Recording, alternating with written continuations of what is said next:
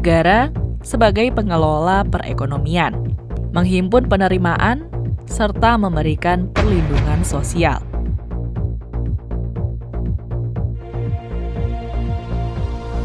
Guna membantu meningkatkan ekonomi rakyat miskin, kebijakan anggaran berimbang menjadi salah satu strategi. Hal ini mengemuka dalam peresmian Indonesia Pupur Budget Review 2016, sekaligus pengenalan Indonesia Development and Islamic Studies atau IDEA. Mimpi, anggaran untuk rakyat miskin.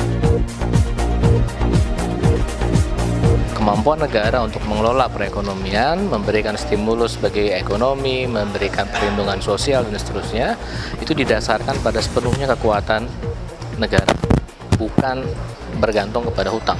Gitu. Ini uh, sebenarnya sangat sederhana, sangat mudah dipahami oleh siapa pun bahwa selayaknya bahwa keuangan sebuah negara itu didasarkan kepada kemampuan uh, dirinya dalam menghimpun penerimaan prioritaskan kebutuhan, berhemat, serta melakukan efisiensi akan menghasilkan pertumbuhan ekonomi berkualitas, sehingga penerimaan belanja dapat ditingkatkan.